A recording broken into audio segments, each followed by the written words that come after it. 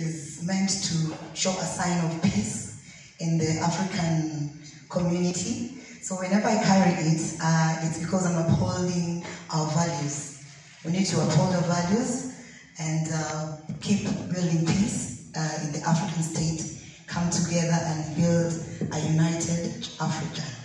So this is uh, this means peace. So wherever it is, even if you have our differences, uh, just like the Japan member said, that we have differences sometimes with the government uh, regarding our pays and all that, but we have to come and have an agreement, sit down, agree on issues, and come to a conclusion that is effective. Because we want to grow, we don't want to die with this. We want this to continue for generations to come. Thank you. Wow. A round of applause for her. Thank you very much. We appreciate. And I've listened to her music. I think I think you've been cultured wrong. That music should be three hour, three minutes and thirty seconds. It's not right. It's not right at all. Yeah. This this was real music. But moving on.